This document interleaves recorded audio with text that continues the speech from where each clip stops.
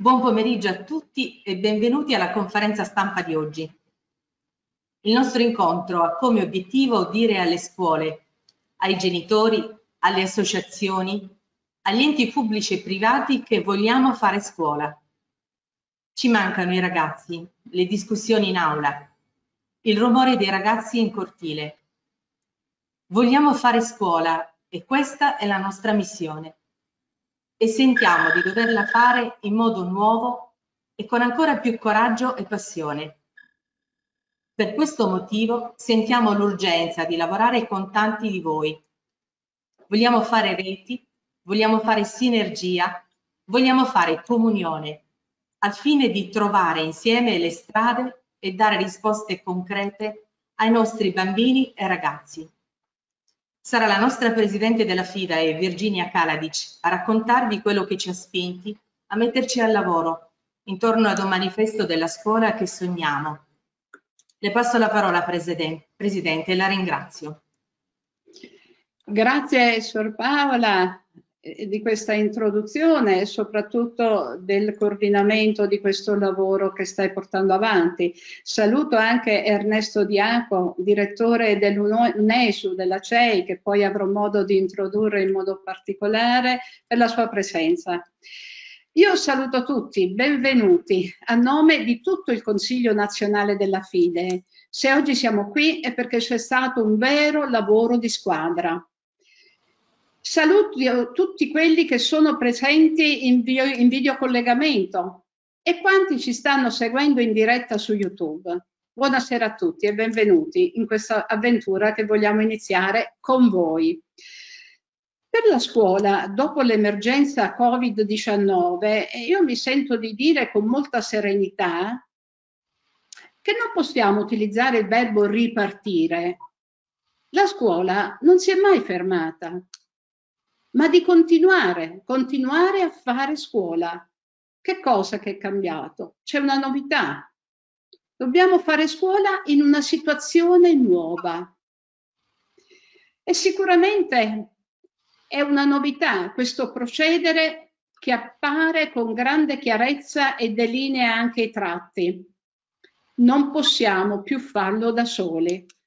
Per guardare avanti abbiamo bisogno di saperci ascoltare, dialogare, individuare strade da percorrere in sinergia con i genitori, i docenti, gli studenti, le istituzioni. Con tutti dobbiamo saper dialogare e insieme capire come accompagnare i nostri ragazzi. Ci saranno, dopo questo lancio, approfondimenti e proposte su vari aspetti che stasera saranno ben introdotti da massimi esperti nell'ambito pedagogico, economico, urbanistico, sanitario. Ci fermeremo a riflettere sugli spazi, sui tempi, sui contenuti del nostro fare scuola. Eh sì, a partire da questa situazione emergenziale che stiamo vivendo, nasce forte un'esigenza, come accompagnare i nostri bambini, i ragazzi a, a saper gestire soprattutto le proprie emozioni. Sono stati portati in una situazione di grande serietà, dobbiamo aiutarli a capire come tollerare meglio le situazioni stressanti e imparare a comunicare anche i loro stati emozionali.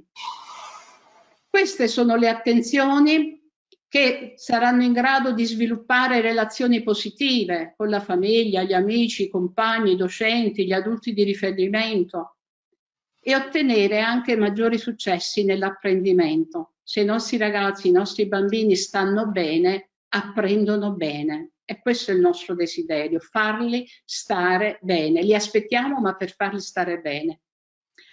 Oggi, più di ogni altro momento storico, la scuola, in un'ottica anche di prevenzione, ci può sicuramente aiutare nello sviluppo dell'intelligenza emotiva. Al centro di tutto questo c'è solo il benessere delle bambine, dei bambini, dei ragazzi, dei giovani, in una situazione completamente nuova. E una delle attenzioni principali è sicuramente come prenderci cura dei nostri studenti. Siamo tutti coinvolti in questo, genitori, docenti, personale amministrativo, tutti coloro che anche in questa emergenza hanno permesso di continuare la trasmissione del sapere. Siamo andati avanti e tutto questo ha tenuto vivo il futuro del nostro paese possiamo dire che la scuola non si è mai fermata. Quella di oggi è una campagna aperta a tutti, nessuno escluso. Come aderire? Lo diremo anche alla fine, ma ognuno pensa alle risorse che possiamo mettere in campo per il raggiungimento di questo grande obiettivo, cioè guardare oltre. Mettere insieme risorse di idee, di competenze che diventa un grande investimento. Da soli non possiamo guardare al futuro e per questo noi abbiamo parlato al plurale. Vogliamo fare scuola. Vogliamo fare scuola con voi, insieme, per la posta in gioco, perché la posta in gioco è grandissima, il futuro delle nuove generazioni perché questo ci permetterà di sostenere tutto il sistema pubblico integrato, statale e paritario. Noi oggi stiamo parlando di scuola, stiamo parlando soprattutto di chi abita la scuola, i nostri studenti, i nostri ragazzi. Pertanto tutto il sistema scolastico è attenzionato in questo momento. Oggi per questo lancio con noi ci sono realtà che rappresentano altrettante realtà rappresentative importanti, prima di tutto la CEI, la Conferenza Episcopale Italiana, attraverso il direttore Ernesto Diaco, che ringrazio, i superiori maggiori, CISMA ed USMI, le tantissime congregazioni religiose che con le loro scuole hanno aderito lanciando e sostenendo questa campagna i rappresentanti del Ministero dell'Istruzione, i rappresentanti degli enti locali, poi saluto l'AGESC, il Forum delle Famiglie, il Mondo Salesiano, CHOFS, Scuola, CNOS Scuola, il Movimento Studenti Cattolici FIDE, CDO Opere Educative, FISM, AIMICI e tante associazioni, sicuramente non riesco a citarle tutte, e anzi con il termine associazioni, fondazioni, istituti bancari voglio salutare tutti i rappresentanti di queste realtà. Quando poi ci sarà la dimostrazione di interesse, cominceremo a chiamarci per nome. Pertanto grazie della vostra presenza perché il vostro essere qui è già il primo sostegno all'inizio di questa grande esperienza. Vogliamo fare scuola, ma con voi, insieme con voi e c'è posto per tutti in questo cammino. Grazie. Adesso do volentieri la parola a Ernesto Diaco, che come già detto è direttore dell'Ufficio Nazionale Educazione e Scuola della CEI. A lui do la parola e lo ringrazio per la sua presenza e per il suo sostegno e eh, per quello che ci vorrà dire. Grazie, buonasera. Grazie Virginia, grazie a tutti voi, grazie per l'invito che ho ricevuto volentieri a porgere un saluto all'inizio di questo lancio, di questo momento così significativo, ma grazie soprattutto per quello che è stato pensato e fatto in questo tempo che è veramente tanto, veramente molto, è veramente pregevole anche per le condizioni in cui eh, si è stati costretti a lavorare, per i pensieri eh, aggiuntivi che ci sono si sono rincorsi in questi, queste settimane, ormai possiamo proprio dire in questi mesi. Io in questo intervento voglio brevemente sottolineare solo un paio di aspetti di questa campagna, di questo progetto che vedo come delle risposte a domande che oggi sono molto forti nei confronti della scuola, quindi sono anche un elemento di valore eh, della vostra proposta. Il primo, già un po' mi pare emergeva nelle parole di, della Presidente Kaladic, è il noi che è sottinteso nel titolo, nello slogan eh, della vostra proposta. Noi vogliamo fare scuola. Ecco, quel noi che non compare ma in realtà è, compare, è ben presente. Ecco, quel noi vuol, dice innanzitutto, in primo luogo, che La scuola non è una cosa terza, noi ne parliamo alla terza persona, la scuola siamo noi, forse meglio ancora potremmo dire noi siamo la scuola, tutti noi, studenti, insegnanti, dirigenti, responsabili, le famiglie, eh, ciascuno di noi è la scuola. Eh, noi siamo la scuola, noi siamo, eh, siamo scuola non da soli, ma con voi, ecco perché eh, dietro a questo titolo eh, c'è l'idea del patto educativo, dell'alleanza educativa e anche la Chiesa è compresa in questo noi che vogliamo, che vuole fare scuola.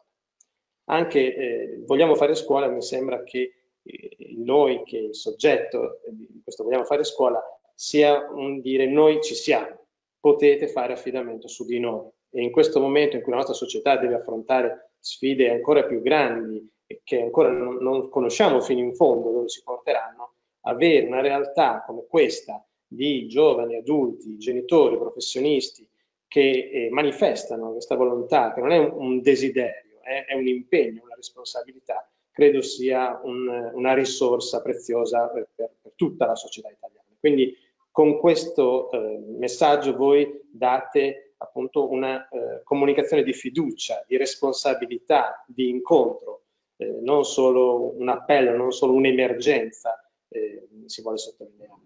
E questo dice all'Italia di oggi che la scuola è prima di tutto delle persone. Questo noi vogliamo fare scuola, dice all'Italia che la scuola è la comunità, è la società civile che fa la scuola, prima di tutto ed essenzialmente.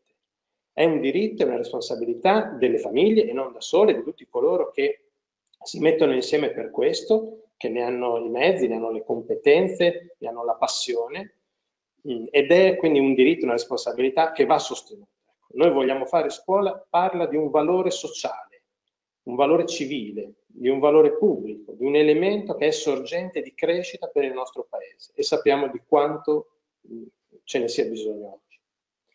Eh, la seconda sottolineatura che vorrei fare riguarda una cosa che spesso è stata detta, mi pare, in questo tempo, e cioè che questa situazione inedita ha rimesso in luce o sta cercando di rimettere in luce quello che è l'essenziale, l'essenziale della nostra vita, l'essenziale eh, delle, delle nostre relazioni, direi l'essenziale anche della scuola, perché nelle condizioni estreme si vede veramente ciò che conta o ciò che noi vogliamo rimanga, non, non va dappertutto.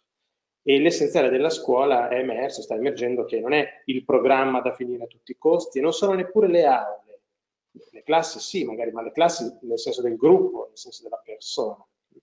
Tutto il resto è relativo alle persone, alla loro crescita, al percorso che insieme si vuole compiere. L'essenziale quindi sono, nella scuola sono le relazioni fra le persone, le relazioni educative, a cui vanno orientati i mezzi anche tecnologici che devono eh, eh, rafforzare, devono sostenere, devono favorire, non sostituire la relazione educativa e devono anche fare un passo indietro quando non è il loro compito. L'essenziale è un alunno aiutato sempre di più ad essere al centro del suo percorso formativo, un alunno aiutato ad essere sempre più autonomo, protagonista, protagonista anche critico e non passivo. E sappiamo quanto a volte invece il rapporto con i mezzi, l'esposizione, meglio, ai mezzi di comunicazione moderni eh, rischi di rendere passivo. Ancora essenziale della scuola come un insegnante che non è sostituito da internet, eh, ma casomai è liberato dalle tecnologie, è liberato dall'essere l'enciclopedia o il manuale a cui ricorrere per essere realmente una guida, un orientamento, un costruttore di comunità. L'insegnante è un costruttore di comunità, l'insegnante è un promotore di vocazioni, è un promotore di esperienza, è un potenziatore di talenti. Ecco, questa situazione credo che metta in luce questo, che chieda agli insegnanti di essere sempre di più soprattutto questo. Una scuola quindi che, il cui, la cui essenzialità consiste anche nell'essere flessibile, nell'essere sempre più autonoma, valorizzata in quanto luogo educativo, composto, diciamo prima, da eh, persone che hanno una responsabilità, un diritto, un dovere di mettersi insieme per la crescita dei nostri ragazzi. Questo è un po' il messaggio che io leggo nelle vostre parole e per le quali vi faccio veramente i miei migliori auguri. Grazie.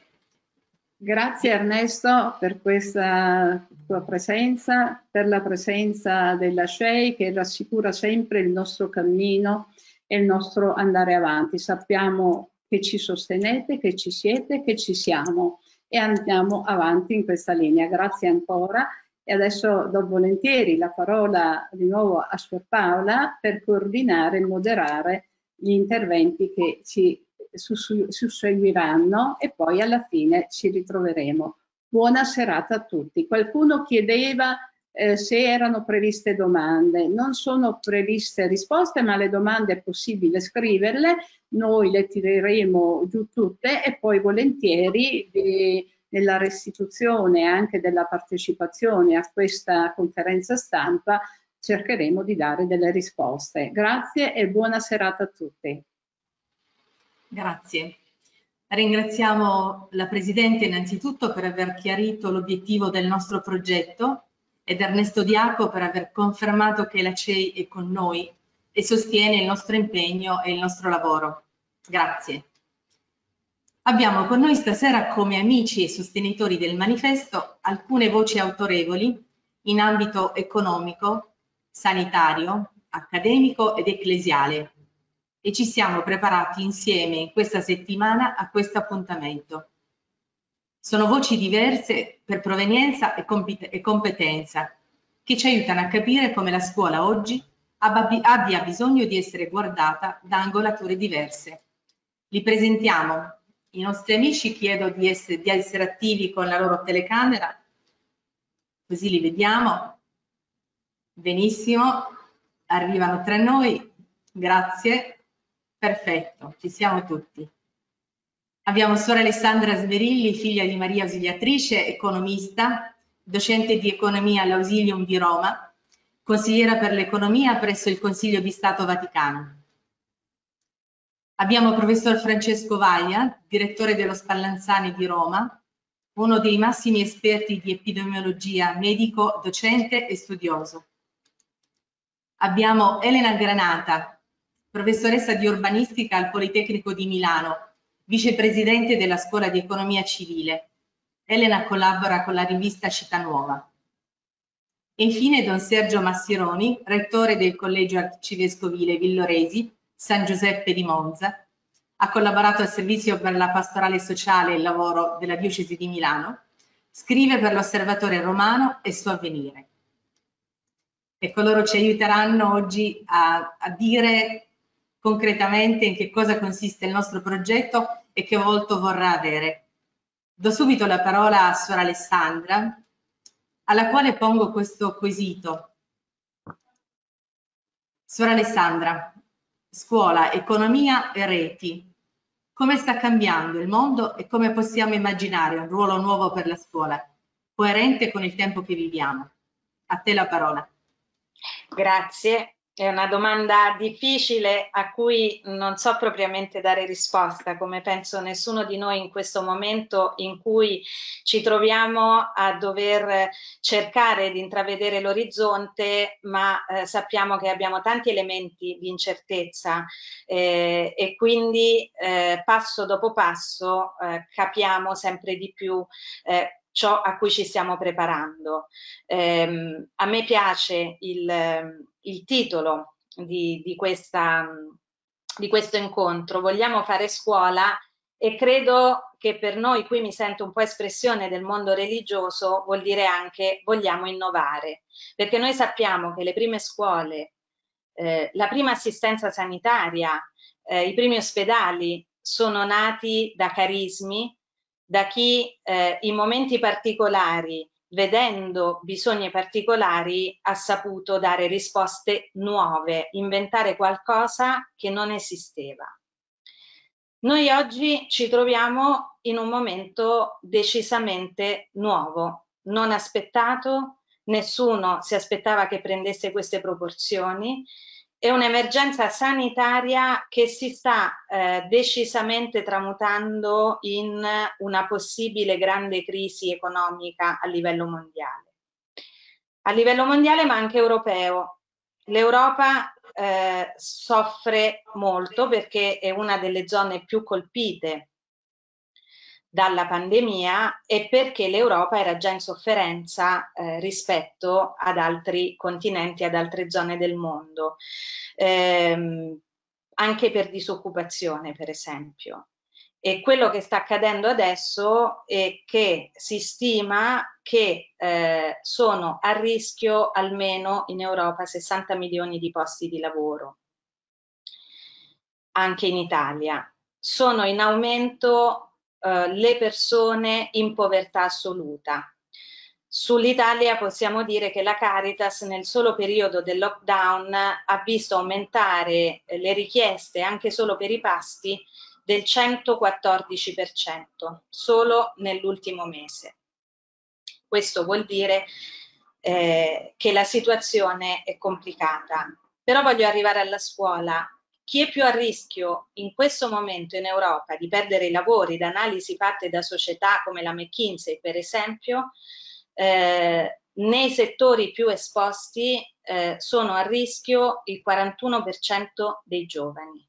Cioè sul 100 posti di lavoro, 41 li perderanno i giovani, la fascia fino ai 24 anni. E i giovani con meno competenze, con meno titoli di studio. E allora questo è un momento in cui la scuola diventa fondamentale il salto che eh, questa pandemia ci ha fatto fare con le nuove tecnologie nel ripensarci, io fin dall'inizio, nelle esperienze che ho visto, ma anche nella riflessione che voi avete fatto, ho visto questo grande desiderio di esserci, non di tornare a come eravamo prima, ma di poter fare scuola in modo nuovo per quello che serve oggi e cogliere questa occasione per dire come possiamo cambiare, tutto questo mh, mm, mi fa dire che eh, ci sono le carte, la passione per poter pensare a qualcosa eh, di nuovo che sia nella linea dello sviluppo delle competenze, ma come diceva Ernesto Diaco prima, che sia lo sviluppo di quella rete, di quella comunità eh, di cui abbiamo bisogno e abbiamo capito che in questo momento ehm, non ne possiamo fare a meno. E allora eh, quello che è importante e come messaggio da rivolgere anche a chi governa, a chi deve prendere scelte politiche, eccetera, è che verso dove andremo noi abbiamo avuto un tempo di misure cosiddette di rescue packages, cioè di misure dell'emergenza. Da quelle bisogna passare ai cosiddetti recovery packages. Io direi devono essere recovery, cioè per la ripresa, per tornare come prima, o rigeneranti per tentare di andare verso un mondo diverso. E se vogliamo andare verso un mondo diverso, c'è bisogno di valutare le misure politiche in base alle conseguenze che avranno.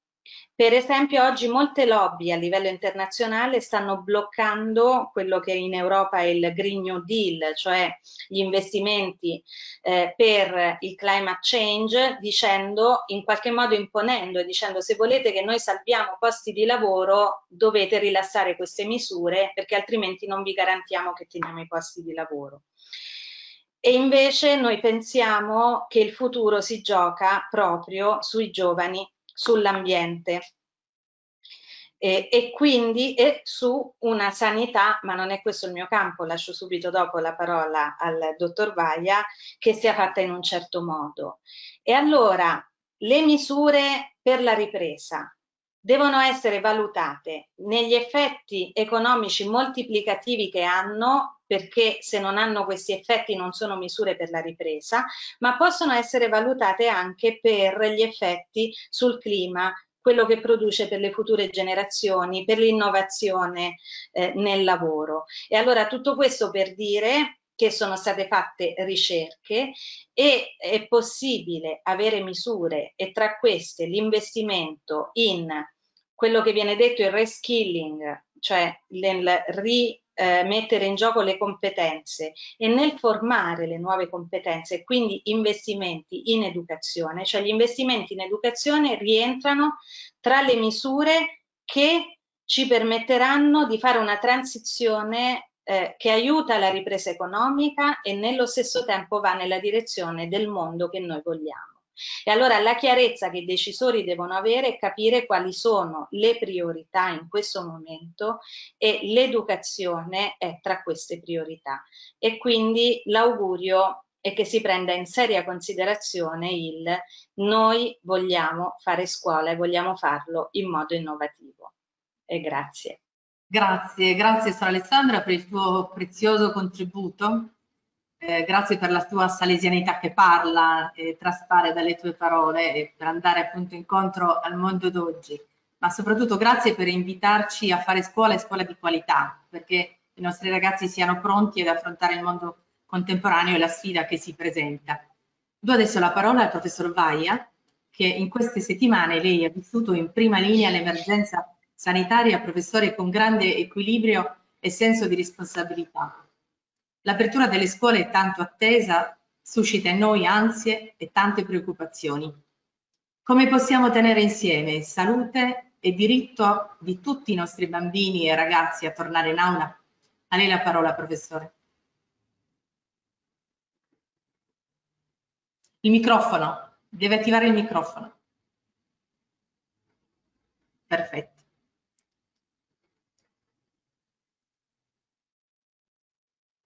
Era l'organizzatore che non mi dava la parola. Grazie.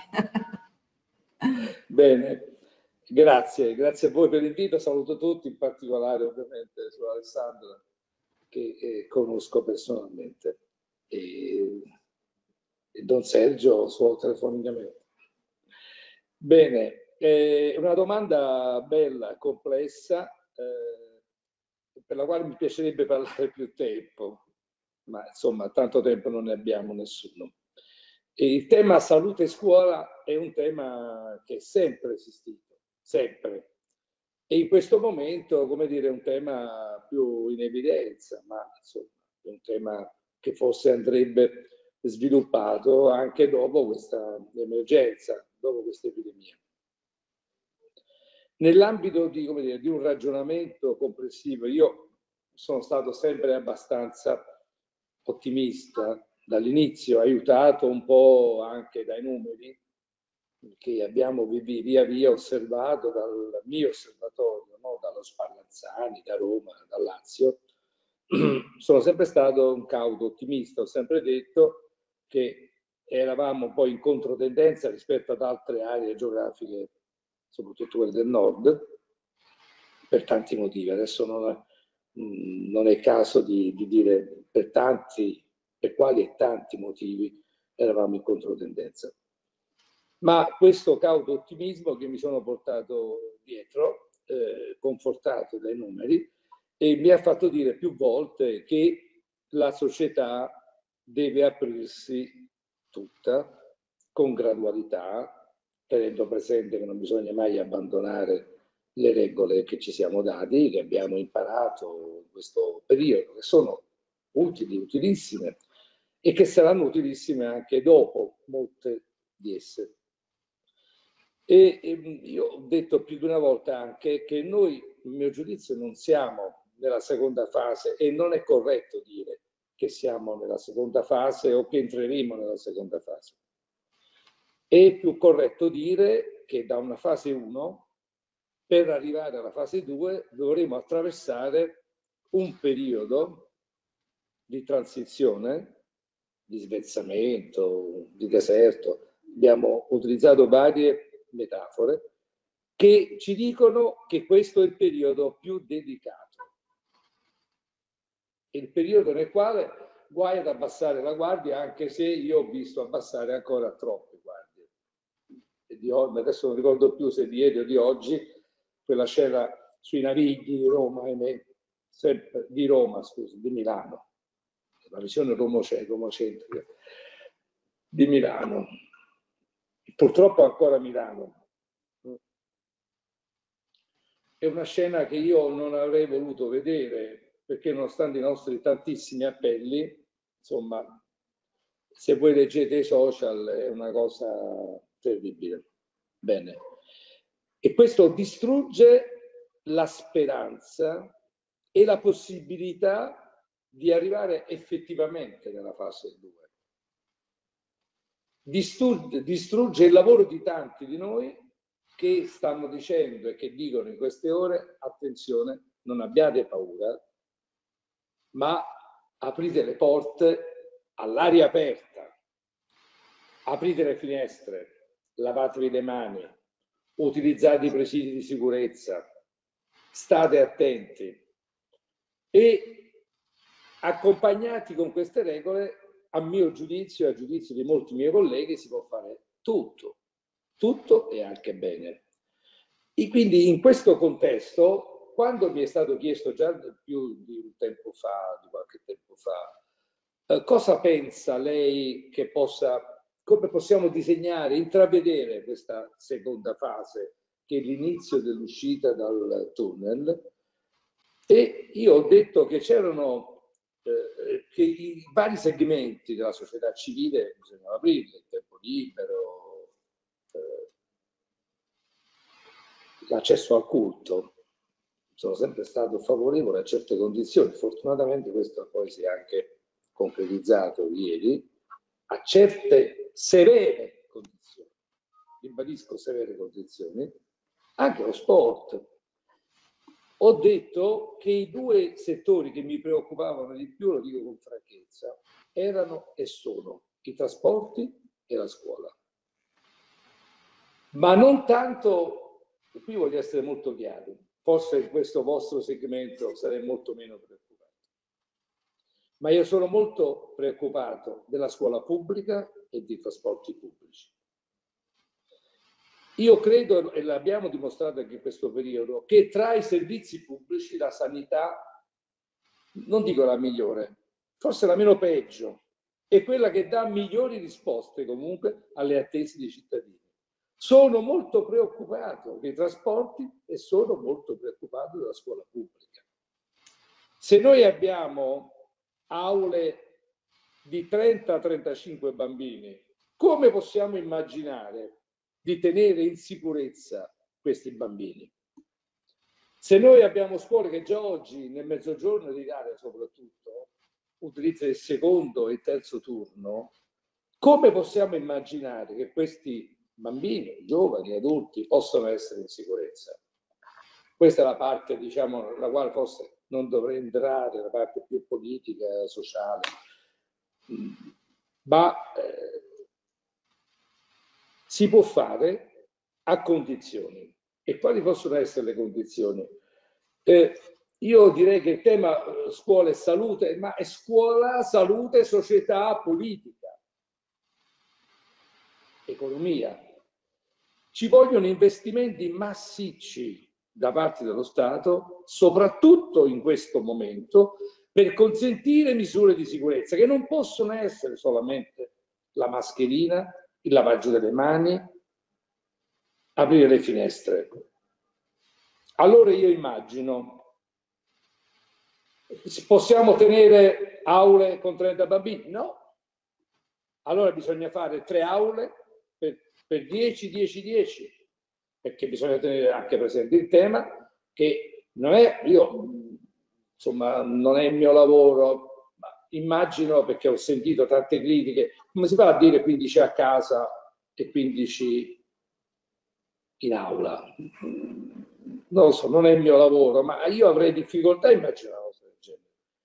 Come fai a non venire incontro alle esigenze delle famiglie, delle tante famiglie che preferiscono, preferirebbero il tempo pieno? E allora se tu metti tutti a tempo pieno devi avere delle aule più capaci, più capienti. Devi avere scuole che hanno ampi cortili, devi avere delle scuole che abbiano la capacità di rivedere, un tema grandissimo questo, di rivedere gli impianti di condizionamento. Io qui da Roma in giù qualcuno potrebbe sorridere perché dice, averceli con i, i riscaldamenti, no? Perché sarebbe anche questo il tema, averceli i riscaldamenti. Ma lì dove ci sono, in questo momento io da tecnico dico che, che gli impianti di condizionamento caldo-freddo vanno assolutamente tenuti spenti perché possono essere pericolosi. Allora voi immaginate quelle scuole, voi direte che già esistono, che hanno vetri rotti, cioè quindi ci aiutano. Queste scuole qui ci aiutano, hanno i vetri rotti e quindi hanno a reazione con, costante, ma lì dove siamo costretti, perché sono anche buone le finestre, ad aprirle perché bisogna aprirle, in, ca in carenza di un percorso di bonifica, ma un, di percorso di bonifica serio. Questi bambini non li faremo morire di Covid, ma li faremo morire di legionella, per esempio, o di altre malattie. Allora, come vedete, il, il tema non è tanto dare quelle poche, poi alla fine sono poche ma essenziali misure, perché insomma i bambini, ci vuole poco a insegnargli fate per 40 secondi, utilizzate acqua e sapone, poi se non c'è mettete gel, non mettete... Tutti i bambini lo sanno fare, si divertono pure a salutare col gomito, con i piedi, stanno lì sulle... si divertono, li ho visti, ma sono poche, se, non abbraccerebbero mai le mamme, forse più le mamme che hanno voglia di abbracciare, lo fanno, sono piccole regole che sicuramente già sanno e che continueranno ad applicare nel corso del tempo. Non è quello il problema. Il problema è come la nostra società si adegua a questa sfida no? che il Covid-19 ci ha lanciato e che tutta la società deve essere in grado di affrontare entrando, per esempio, come dicevo prima, nell'economia. Io vorrei sapere questi, se riusciamo a prendere i soldi dall'Europa, eccetera, eccetera, poi come li spendiamo? quali saranno le azioni prioritarie. Io ritengo queste. Ritengo, quindi, se per me, quando volevo dire le problematiche sono scuola e trasporti, volevo dire esattamente questo, che probabilmente lo Stato deve farsi carico di ingenti trasferimenti di risorse esattamente in questi due segmenti che mi preoccupano. Che mi preoccupano di più non solamente per questa eh, focolaio epidemico, ma in genere per tutte le malattie infettive che noi potremmo avere.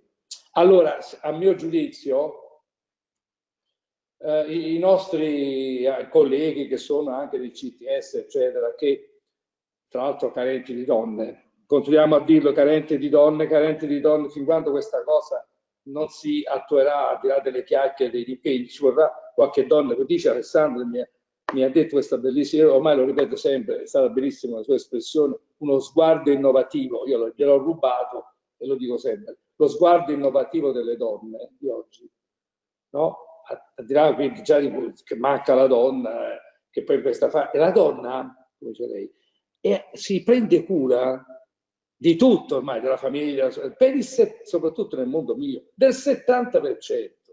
Ma come è pensabile di estromettere chi occupa il 70% delle cure dai centri decisionali e sono diventati ancora di più, la sto facendo lunga, eh? scusatemi, forse la sto facendo lunga, ma sono diventati centri decisionali anche in una maniera impropria. Ma dove si è visto mai che il CTS deve decidere? Perché è una classe politica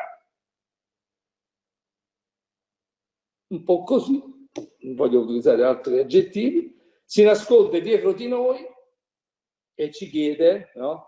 Io o, o, sai Alessandro, ti dico questa cosa in privata e in pubblico, ti dico questa cosa in privata e in pubblico. Ho molto analizzato eh, il perché ho fatto un video per conto della regione in questi giorni, eh, eh, ha sfiorato i 3 milioni di, di contatti, tanti.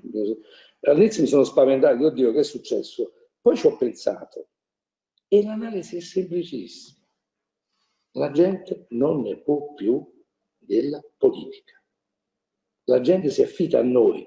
Allora, se ha un senso, anche questo webinar di stasera, ha un senso se noi saremo in grado, in questi come in tanti altri, di far crescere in una maniera orizzontale, che si infiltra in tutti, un'esigenza di porre concretamente i problemi. Allora, la scuola è un problema. Cerchiamo di risolverlo. È inutile dire apriamo a settembre in queste condizioni dobbiamo aprire a settembre a condizione che si faccia A, B, C, D, eccetera, eccetera. Quindi nel mio piccolo sono disposto a dare il mio contributo. Vi ringrazio. Grazie, grazie infinite, grazie, ne approfitto per dire grazie a tutto il grande lavoro che lei ha fatto in prima linea allo Scalaccione in questo periodo di vera difficoltà per l'Italia e per Roma in questo caso. E La sua parola è stata non illuminante, di più perché qui abbiamo sicuramente ad ascoltarci tanti docenti, abbiamo tantissimi genitori ai quali noi dobbiamo dare la garanzia che i figli staranno in sicurezza. E la ringraziamo in anticipo perché sappiamo che lei sarà con noi nel nostro progetto per cercare le soluzioni e di questo ne siamo veramente grati, professore. Volevo dire, se posso dire una cosa, Prego. posso dirla, mi sentite? Sono orgoglioso di dire questa cosa. Eh, io sono sempre stato contrario alla personalizzazione, come ha detto il Papa recentemente, eh, però eh, sono, sono, contrario a che premino l'uno l'altro, meno l'altro, ciascuno dei miei colleghi anche sono stati bravissimi. Però voglio dire con orgoglio che il primo giugno verrà qui il Presidente della Repubblica insieme a un altro nostro amico, eh, che è il tenore Grollo, Francesco, che canterà per noi qui allo Spallanzani, come dire, eh, Francesco canterà e il Presidente della Repubblica sarà presente per come dire, testimoniare a tutta la nazione che abbiamo fatto un buon lavoro. È una bellissima cosa. Sono Bellissimo. orgoglioso di questo. Bellissimo, complimenti, noi saremo con voi. Grazie, grazie. Grazie ancora professore diamo la parola adesso, ci saluta, grazie, buon lavoro, buon lavoro, grazie. Salutiamo anche Sora Alessandra che non vedo più, probabilmente anche lei aveva altri impegni. Ciao Sora Alessandra, grazie, grazie ancora. Rimani con noi? Bene? No. Elena, il tuo turno. Sì, rimango ma senza telecamera, così vi lascio lo spazio. Va bene. Elena Granata l'abbiamo presentata prima. Allora ti pongo una domanda un po' difficile, ma so che tu sei brava e saprai rispondere. Ci sono momenti, Elena, in cui ci si sente con tanta lucidità che è necessario cambiare. È necessario fare un salto di scala. Tornare a scuola non vuol dire necessariamente, l'abbiamo appena visto, tornare a fare scuola nel modo in cui eravamo abituati prima. E questo non solo per ragioni di sicurezza, come ha appena detto il professor Vai, e quindi distanziamento fisico e sociale, ma ecco, tu ci dirai in che modo questa novità va cercata, perché questi mesi effettivamente ci hanno cambiati, non siamo più quelli di prima. Perciò Elena, come guardare avanti, quali spazi e quali tempi per la scuola del futuro? Aiutaci a leggere questa realtà. Grazie. Grazie, buon pomeriggio anche a chi non vedo, ma so che siete in tanti.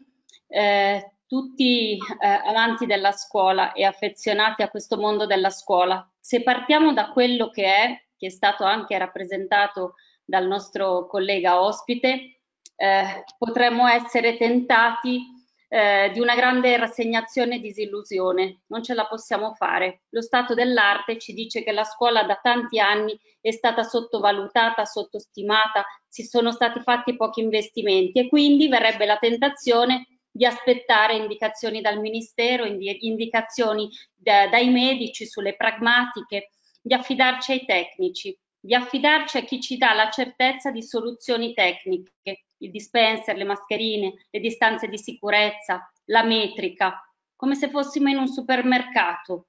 E sì, un po' di questa saggezza delle scienze dovremo portarcela con noi per poter riprendere la scuola in sicurezza ed è quello che garantiremo ovviamente alle famiglie e ovviamente ai ragazzi, oltre che ai colleghi. Ma noi non siamo un supermercato, non siamo un supermercato e non potranno bastare le distanze di sicurezza, la metrica, le mascherine, tutte cose a cui ci sottoporremo con grande dedizione e con l'eroismo che sapranno avere i nostri ragazzi, ma noi non siamo un supermercato. C'è una domanda di senso che viene prima delle soluzioni pratiche, delle soluzioni tecniche e lì non ci può aiutare il tecnico. Lì la parola torna a chi ama la scuola e chi la scuola la fa da dentro ed è la domanda di senso che viene da quelle aule che sono rimaste vuote in questi mesi, quelle aule vuote che non ci hanno tormentato quanto le piazze vuote. Guardate quanta retorica in questo paese sulle piazze vuote, non c'è stato un servizio sulle aule vuote dove i nostri ragazzi non hanno potuto entrare per settimane. Eppure la scuola, la scuola insieme alla sanità è il primo, il primo presidio del welfare di questa nazione è a scuola che noi creiamo le condizioni dell'uguaglianza, della cittadinanza, dove il bambino straniero appena arrivato è messo nell'aula insieme al ragazzino autoctono, magari di famiglia ricca, dove è stata inserita con una legge lungimirante di tanti decenni fa il disabile insieme al superabile. Questa è stata la grandezza della scuola italiana. E allora, e allora noi non siamo un supermercato e non potrà bastarci la metrica, non ci potranno bastare le distanze di sicurezza. Stavolta, e lo dico ai colleghi, saremo noi docenti che dovremo passare l'esame. Dovremo saper dimostrare che a questo mondo ci teniamo davvero e che non dovrà darci la risposta la politica, ma la risposta è in capo a chi la scuola la fa. Per questo abbiamo scelto questo slogan, vogliamo fare scuola. C'è quel noi, ma c'è anche un fortissimo istinto di volizione, perché tutto da, deve partire anche dal fatto che sapremo rialzare la testa. Forse l'abbiamo tenuta chinata per troppi anni come categoria, certo sottopagati, certo precari, certo marginalizzati, però, però noi abbiamo in mano il futuro di questo paese, che sono i bambini della materna, dalla materna fino alle superiori. E allora prendiamoci il tempo di fermarci, di fermarci a pensare, a, a, fermare, a fer, fermarci per pensare non che cosa vogliamo fare a settembre. E certo, quello, quello lo, lo capiremo insieme, quanti bambini entreranno, come faremo a trovare le soluzioni pratiche, ma che cosa vogliamo fare nei prossimi dieci anni. Dobbiamo avere la visione, dobbiamo sentire che in questo momento rimettiamo come nel dopoguerra, come negli anni della ricostruzione, le basi per il paese che vogliamo essere. E allora dovremmo lavorare sulla forma e sul contenuto, sui luoghi e sui tempi. Luoghi e tempi. E qui mi viene un rammarico quanto sento le proposte così aride di immaginare lo scaglionamento, le suddivisioni, l'alternanza, come se fosse soltanto un problema sanitario, che non può partire invece dalla biologia, da come sono fatti i ragazzi, da quello che la pedagogia in questi anni ci ha insegnato. Gli adolescenti si svegliano tardi, carburano tardi, hanno un metabolismo che richiede un'attenzione diversa che i ragazzi più grandi o i bambini. Allora noi non possiamo pensare che siano solo delle soluzioni tecniche necessarie, fondamentali, ma dobbiamo ritrovarne il senso. E allora in questo periodo di quarantena doloroso perché per chi ama il proprio lavoro, come il mio caso, non avere l'aula affollata di studenti è una sofferenza. Non è vero che è la stessa cosa far fare lezione online a distanza o fare lezione con i ragazzi che vedi il giorno che uno ha il malumore, vedi quell'altro la giornata che gli è andata storta. Allora ci siamo resi conto, ma lo sapevamo anche prima, che c'è qualcosa che viene prima svolgi dello svolgimento del programma, del registro, dei voti, del compito in classe. E, è quel di più, è quel di più della relazione educativa e questo mi sia consentito nella scuola paritaria è stato particolarmente coltivato negli anni perché avete dietro dei carismi che vi hanno suggerito che la scuola non è solo il voto, la scuola non è soltanto il risultato, la scuola è una dimensione di relazione fondante l'essere umano. Si entra a scuola bambini e si esce cittadini di uno Stato, cittadini con la schiena dritta se si è fatta un'esperienza educativa. E allora quali sono gli ingredienti di questa eh, relazione educativa che è sempre asimmetrica? Perché c'è un adulto e c'è un ragazzo e quindi è asimmetrica, ma è una simmetria che però è temperata dal modo in cui noi facciamo insegnamento e che si nutre del tono, come diciamo le cose, delle parole, quali parole scegliamo per insegnare, della presenza. La presenza nell'aula, la presenza è il corpo dell'insegnante, il corpo è la fisica, è la prossemica. L'insegnante non è quello che sa, è quello che riesce a trasmettere ai propri studenti. Quanti insegnanti abbiamo visto pieni di nozioni che non sono riusciti a passare una alfa, una, un alfa, un omega di quello che sapevano. Perché? Perché c'è un mistero in questa relazione educativa che non è solo quello che sai, ma è quello che riesci a trasmettere dentro un'aula che è il contenitore storico di questa relazione. E noi sappiamo, noi che siamo innamorati dell'insegnamento, che l'insegnante è il suo corpo, il suo corpo che si espone al giudizio, alla valutazione, alle volte allo scherno dello studente, è il tono della voce, quel tono della voce che cambia, che si alza, che si abbassa, perché l'insegnante è in perenne lotta, è un agone con il rischio della noia dei nostri ragazzi, la noia, il disinteresse in quell'età in cui non sentono il senso di quello che stanno facendo. E quindi l'insegnante continuamente se li riacchiappa, se li riconquista a quel senso che magari talvolta anche lui non riesce a trovare in quello che fa. E quindi è una lotta contro il già detto, il ripetuto, il, il, il già visto, perché lo studente è perennemente annoiato. E quindi noi veniamo da questo mondo in cui l'aula, dimensione spaziale, è il luogo dove si mette in scena l'insegnamento. L'insegnante entra, una bellissima immagine di Maria Zambrano, filosofa, l'insegnante arriva nudo, si mette in cattedra e c'è un momento in cui tira il fiato e fa i conti con la sua povertà e poi, e poi entra in scena. E se è un vero insegnante, perde quella sua nudità e si consegna alla classe. E un'ora, un'ora sola di lezione può cambiare la vita di un ragazzo e lo sappiamo perché per quell'ora che noi abbiamo studiato e per quell'ora che noi viviamo. Ciascun insegnante vive per quell'ora, per quei cinque minuti che fanno la differenza nella vita di un ragazzo. Che ne è dell'insegnamento quando non c'è l'aula? quando siamo depri- deprivati della nostra materia prima, che sono i nostri ragazzi, che sono le nostre aule, come è accaduto in questi mesi. Succedono cose interessanti. Succedono cose interessanti anche quando siamo privati dell'aula. Perché? Perché non tutti hanno i talenti teatrali, non tutti sono così appassionati nell'insegnamento e, co- e quindi magari tanti insegnanti hanno scoperto dei loro talenti proprio nel nascondimento, dietro una telecamera, in una relazione più protetta con la classe, meno esposta. Che bello. Al contempo ci siamo resi conto che anche i nostri studenti, in una dimensione immediata, non così esposta come quella dell'aula, un po' più protetta, sono venuti fuori con i loro talenti. La, il timido che magari osa fare la domanda, la battuta, la classe che si riconfigura in una maniera diversa, mediata, dal digitale, ma non meno sincera. E quindi anche questo arricchimento di, questo me di questi mesi potremo portarcelo con noi.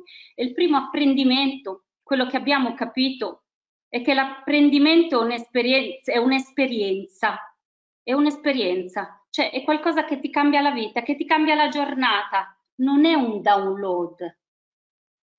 L'apprendimento non è scaricare un file con la lezione del professore. L'apprendimento è passare attraverso una forma di relazione, magari immediata, la lezione fatta online, in presenza o a distanza. E naturalmente la restituzione di questo apprendimento non può essere un play, un replay. E questo ha molto da dirci, perché noi spesso eroghiamo una lezione e chiediamo in cambio che ci venga restituita esattamente come in un play, schiacciando un testo. Ecco no, in queste settimane i ragazzi che non hanno abitato le nostre aule in fondo si sono liberati anche di quegli orpelli che sono la classe, la restrizione, i banchi, la prossimità coatta, la simmetria per cui si guarda tutti il professore, non si può chiacchierare, non si può copiare, non, non, non. Ecco, e i ragazzi hanno tirato fuori dei talenti, il loro saper fare, le loro curiosità, il loro tempo liberato dalla scuola. Beh, beh, dopo tutto questo, abbiamo ancora nostalgia di tornare in aula come se non fosse successo niente, oppure dovremmo portarci con noi quello che è successo. E che cos'è successo? È successo che capiamo benissimo che quel tipo di aula tradizionale, con i banchi, eterodiretta, in cui tutti si guarda dalla stessa parte e non ci si guarda, non si hanno relazioni, beh, forse non è più l'aula, aula in senso metaforico ovviamente, ma anche fisico, non è più l'aula che può ospitare quelle teste e quei cuori dei nostri studenti che per un anno hanno sofferto l'assenza.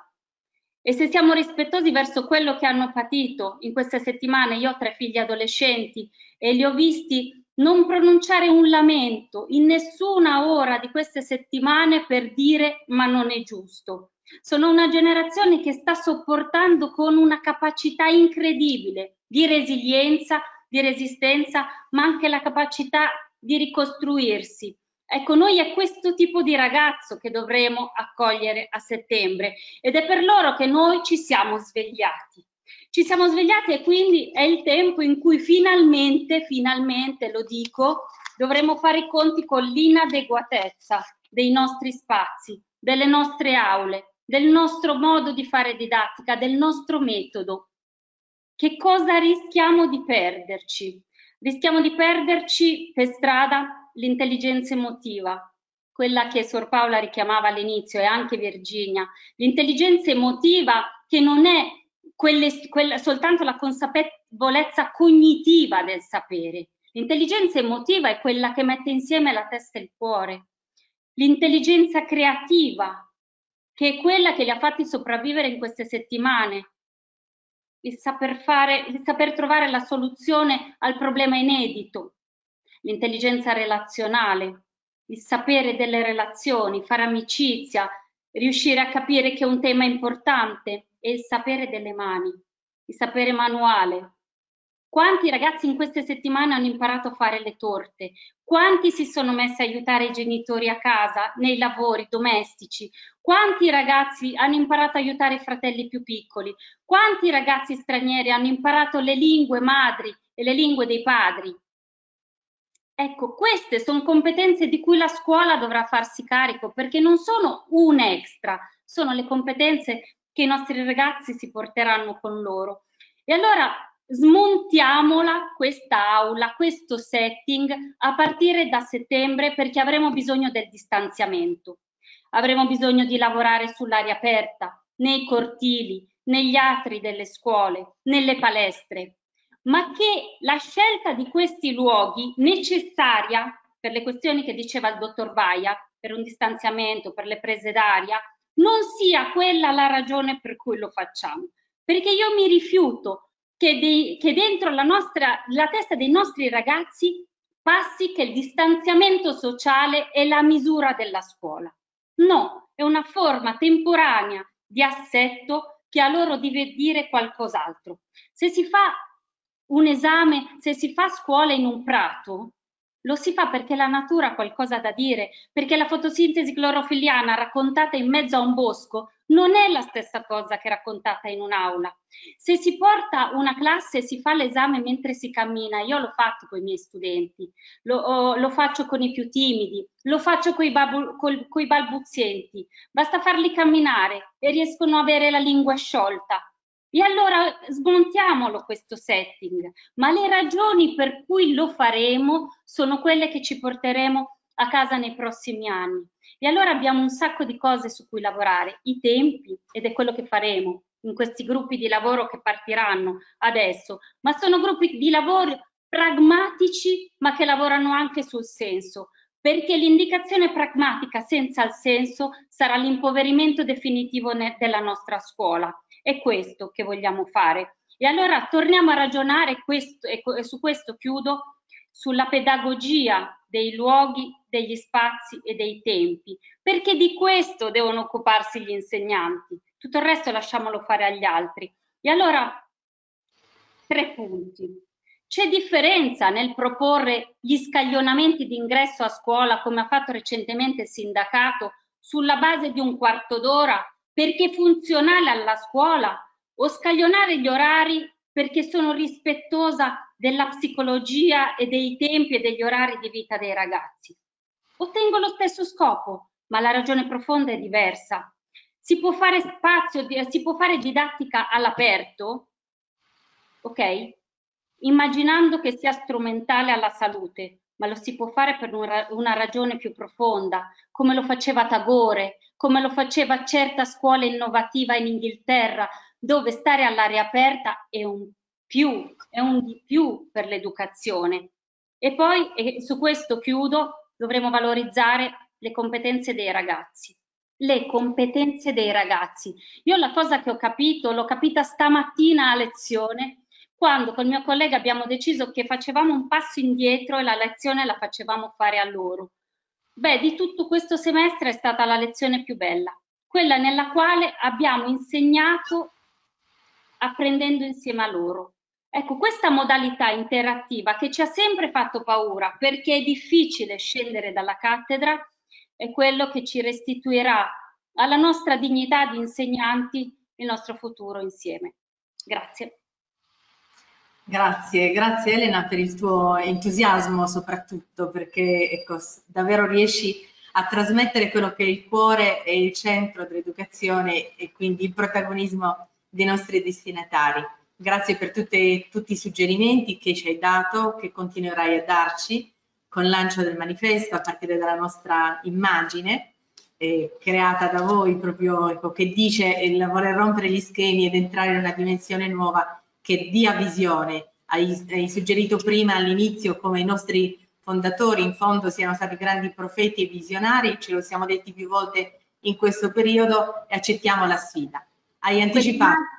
Quelle immagini chioso proprio rapidissimamente perché ci è cara, da una parte ha stralci di giornale la cronaca e dall'altra ha la visione e questi ragazzi che si buttano dentro un mondo che ancora non c'è ma sono attratti da quelli non dalla, non dalla cronaca. Tra la cronaca e la visione c'è il nostro lavoro. Grazie. Grazie, grazie perché sarai un nostro, una nostra consulente preziosa e illuminante in tutto questo periodo che è stato e che verrà ancora.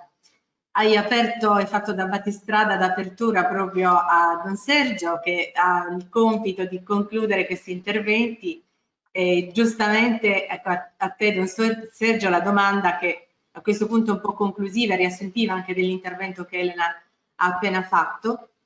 Ci dici sicuramente in sintesi, ma bene anche così nei dettagli come tu sai fare, che cos'ha il progetto educativo da dire oggi della scuola cattolica al mondo contemporaneo, nella nuova sfida che ci si presenta?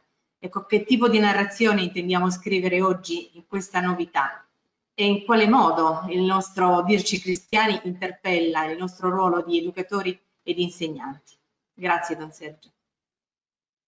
Grazie a voi e grazie per la positività che sprigionano questi interventi e che ehm, la bellezza di lavorare insieme in queste settimane eh, mi sta donando, perché già quello che abbiamo visto questa sera in diretta, eh, essendo di fatto eh, cattolici con delle eh, caratteristiche, delle competenze diverse, dice molto eh, di chi siamo e di co che contributo possiamo dare al Paese. Eh, quindi c'è un primo tema di cui ho apprezzato in questo periodo la positività, cioè la postura potremmo dire costruttiva, non polemica. Noi siamo, non possiamo nascondercelo in una situazione di grande difficoltà. Anzitutto si è parlato di noi e ci siamo fatti sentire per la drammaticità della situazione in cui anche a livello economico le nostre scuole si interrogano sul futuro.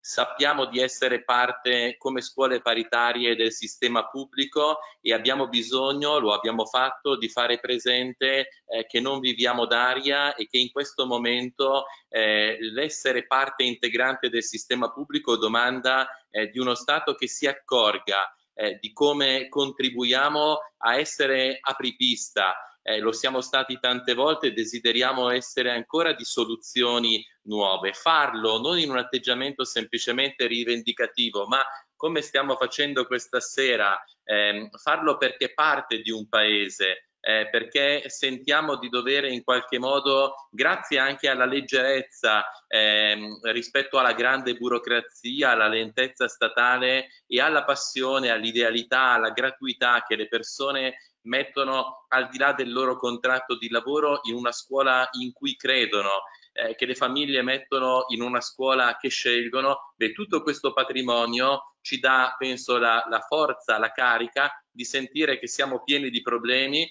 che abbiamo domande molto grandi sul futuro, che abbiamo un lavoro da fare oggettivo eh, per chiedere allo Stato di investire su ciò che lo fa risparmiare e so, su ciò che gli può dare ehm, di intravedere delle soluzioni che poi possano in qualche modo fare lievitare, crescere, maturare tutto l'insieme della scuola pubblica. Fare questo positivamente vuol dire chiedersi davvero non in generale, ma in questo momento che cosa dice un progetto educativo. Quindi mi piacerebbe, tenendo conto che abbiamo a che fare con eh, un arcipelago diversissimo di realtà, grandi e piccolissime. Stiamo parlando e incontrandoci tra persone che vanno dall'estremo sud all'estremo nord del paese e quindi avvertire tutta questa differenza come un'opportunità eh, di intervenire in modo molto concreto a cambiare segno eh, della percezione che gli italiani hanno rispetto al valore della scuola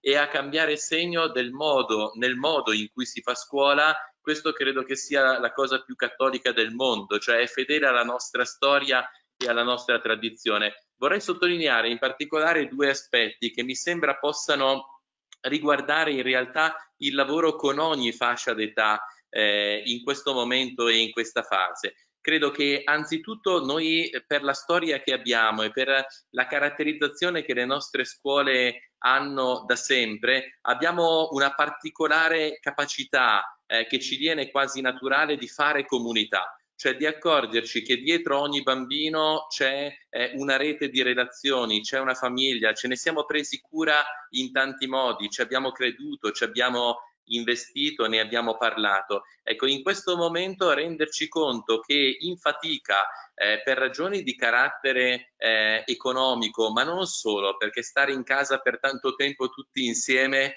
ha messo alla prova, immagino, moltissimo eh, gli assetti, gli equilibri familiari, non mi voglio dilungare troppo, ma la questione è come stanno le famiglie nelle quali intravediamo i nostri bambini, eh, i nostri ragazzi attraverso uno schermo. Beh, prenderci cura di questa socialità, sapendo che anche uscendo di casa, eh, non so se è capitato anche a voi in questo periodo, noi avvertiamo eh, la, la, il timore ad avvicinarci, eh, la paura a incontrarci, cioè dobbiamo, eh, ce l'ha detto benissimo prima il dottor Vaia, mantenere un distanziamento ma renderci conto che noi possiamo essere distanziati però insieme. E quindi inventarci delle forme nuove per far sentire le persone supportate. Lo stiamo facendo credo in tanti modi anche in questo periodo, penso a come oltre alla didattica a distanza si siano messe in campo iniziative per sostenere anche a livello pedagogico, psicologico, spirituale i nuclei familiari, a come stiamo andando incontro molto spesso anche economicamente a persone che faticano eh, a potersi permettere la retta, a come eh, adesso e in futuro stiamo cercando di tessere eh, rapporti e mettere in circolo le risorse eh, che le persone hanno, un po' come nella moltiplicazione dei pani evangelica, dove eh, quello che è di uno si moltiplica solo se condiviso. Questo mi sembra un tema molto importante per contrapporre eh, alla paura eh, del contagio ehm, una propensione a, a, un altro tipo di contagio che è quello della gratuità, della positività, eh, del desiderio eh, di essere insieme e di fare squadra, di fare comunità. Eh, tutto questo io credo che ci ricordi che veniamo da una storia. Il progetto educativo delle nostre scuole, forse di più eh, di quello statale che forse per natura sua, forse per il ritmo a cui ehm, la scuola eh, statale normalmente procede, ha la capacità e ha nelle figure dei fondatori, nella storia eh, da cui veniamo, la possibilità di radicarci in una tradizione, in una storia comune che è estremamente importante, come del resto fa eh, la lezione, eh, che è normalmente eh, l'immergersi in quello che non è ancora conosciuto perché ci precede, perché è da scoprire, è da aprire, è da affrontare come cosa nuova. Da, da questa esperienza, da questa storia, credo che possiamo trarre un senso dell'abitare la complessità, dell'attraversare le difficoltà, che è molto prezioso per fare realmente educazione, per fare formazione. Noi abbiamo la responsabilità, credo, forti della storia da cui veniamo, di ricordare che siamo nati in contesti difficilissimi, che i nostri fondatori e le generazioni precedenti hanno già attraversato eh, dei momenti di particolare complessità e che studiando noi normalmente abbiamo a che fare con cose complesse. eh, ci abituiamo a eh, interpretare, a risolvere problemi, a trovare soluzioni, a condividere strategie. La scuola serve a questo, a educare e a aprire lo sguardo e a dare strumenti per stare dentro situazioni come questa e noi credo che possiamo farlo mettendo in gioco dalla nostra storia, dalla nostra identità un elemento che è ancora più radicale, ancora più profondo perché ha a che fare con il senso della vita. Questo periodo ci ha esposto drammaticamente alla morte, alla malattia, all'incertezza e se siamo seri, se siamo onesti, abbiamo da accompagnare eh, tutto un travaglio che noi per primi stiamo vivendo e che eh, abbiamo le risorse spirituali per condividere ehm, perché non rimanga sepolto dentro ciascuno di noi. Si sono viste eh, immagini, eh, abbiamo avuto una percezione del pericolo, abbiamo vissuto lutti, abbiamo sentito parlare di morti come di numeri. Credo che tutto questo nella vita di questa generazione, dei nostri bambini, dei nostri ragazzi, ma anche dei loro genitori, abbia una dimensione verticale, domandi senso, domandi di essere ritualizzato, domandi di essere collegato eh, all'anno liturgico, a quello che le opere d'arte raccontano, a tutti i drammi che la letteratura racconta, al senso di fare scienza, di studiare, di fare ricerca, portare il senso della vita, la sua ricerca dentro eh, l'esperienza della scuola e l'accompagnamento che facciamo le persone, se, se, se, non lo facciamo noi, chi lo farà?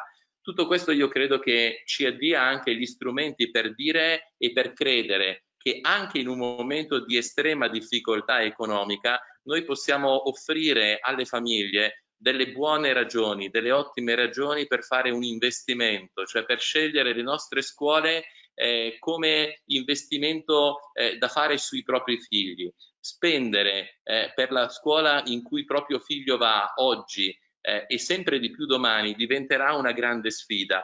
Quindi è vero, noi abbiamo in qualche modo con lo Stato da interagire su quel tema della parità eh, che, che, che, ci accompagna da tempo, ma abbiamo soprattutto da chiederci se vale l'investimento venire da noi, cioè se le persone che portano i loro figli da noi, che ci scelgono, stanno realmente eh, scegliendo qualcosa che altrove non si trova. E credo che in questo senso di comunità, in questa abitudine a trovare nella storia e nella complessità delle materie da apprendere, delle sfide da affrontare, le chiavi per abitare con agio, con serenità il presente e trovare spiritualità in tutto questo, un rapporto nuovo con Dio, con se stessi, con gli altri, sia quello che un progetto cattolico oggi ha veramente eh, la forza, l'energia di mettere in campo a servizio di tutto un paese. Grazie, grazie Don Sergio per aver messo a fuoco i diversi punti ecco, di quello che è il progetto educativo, ma grazie soprattutto per aver sottolineato la sinergia dal nord al sud, trovarci insieme per un'unica identità e per dire appunto al mondo di oggi ci siamo, siamo vivi, vogliamo esserci, vogliamo fare scuola. Grazie dei vostri preziosissimi contributi. Grazie ancora e diamo la parola a Virginia, la nostra Presidente, affinché lei concluda eh, dando l'arrivederci ai nostri, ai nostri prossimi appuntamenti. A te la parola Virginia e grazie ancora. Grazie, grazie a tutti e grazie a Sor Paola Murru per il coordinamento dell'avvio di questa meravigliosa campagna. Eh, eh, vogliamo fare scuola. Volevo condividere brevemente con voi, mentre eravamo in conferenza stampa, eh, è, sono stata raggiunta da un giornalista che voleva costringermi, nel senso buono, a dirmi allora chiuderanno le scuole paritarie, allora chiuderanno e devo dirvi che mi sono lasciata prendere un po' da impeto. No, dico, non vogliamo chiudere, non possiamo chiudere. I nostri ragazzi stanno aspettando di tornare a scuola e dobbiamo a loro riaprire le nostre scuole. Mi collego direttamente a quello che Don Sergio ha sottolineato con molta chiarezza. Noi vogliamo fare scuola. Basta con questo discorso di disfattismo. Io in questo momento sicuramente chiederò anche, chiederemo anche a nome di questa campagna che, si parte, che parte alla ministra Azzolini di ascoltarci, di ascoltarci perché noi vogliamo continuare e i nostri bambini, i nostri bambini, i nostri genitori, i nostri docenti, le nostre famiglie sono cittadini italiani e vanno rispettati vanno rispettati e basta con queste discriminazioni. La legge della parità compie quest'anno 20 anni. Pertanto è il momento di dire basta con questo disfattismo, chiudiamo, chiudiamo, chiudiamo. Non vogliamo chiudere. Oggi è proprio questo che vogliamo dire con questa campagna che si avvia. Vogliamo fare scuola. Tante le realtà che eh, ehm, hanno aderito all'avvio di questa campagna. Adesso sarete raggiunti da indicazioni per come dimostrare interesse. Daremo una settimana di tempo. Ehm, e entro questa settimana vi invitiamo a dimostrare interesse, poi ci chiameremo per nome, ci guarderemo in faccia e insieme cominceremo dei confronti, dei webinar tematici che accompagneranno questo processo, processo di eh, um, ridisegnare la nostra scuola in una realtà nuova.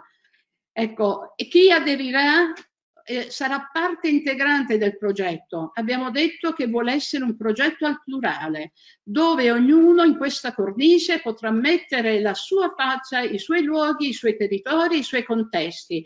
Lo vogliamo perché già queste più di 2000 soggetti, soggetti che rappresentano poi tante altre realtà dietro, hanno aderito a questa campagna. Adesso speriamo che diventa anche interesse ad essere con noi in questo cammino, perché lo dobbiamo alle nuove generazioni. Quelle, le cose che abbiamo ascoltato stasera ci hanno toccato le corde del cuore, pertanto basta con questa politica disfattista, noi non vogliamo chiudere, vogliamo andare avanti e insieme con voi vogliamo farcela. Abbiamo attivato un indirizzo email che è vogliamo fare scuola, chiocciola fidae.it ma sarete raggiunti con tante informazioni anche eh, attraverso delle email dove voi potete dire sono interessato, voglio entrare, cominciamo a parlarne insieme. È una campagna aperta a tutti, ognuno metterà quello che può risorse di persone, di competenze e già ne abbiamo messo, avete visto quante già competenze sono al nostro tavolo e quante altre ne abbiamo. Abbiamo anche avviato la pratica, ehm, il, abbiamo chiesto all'UNI, l'ente di normazione nazionale, di camminare un cammino per riconoscerla come prassi di riferimento. La, la, domanda, ve lo comunico con grande gioia, è stata accolta. Pertanto questo cammino che stiamo facendo diventerà anche prassi riconosciuta. Ci sono i massimi esperti al tavolo, ma non vogliamo essere da soli per quel motivo che ho detto prima.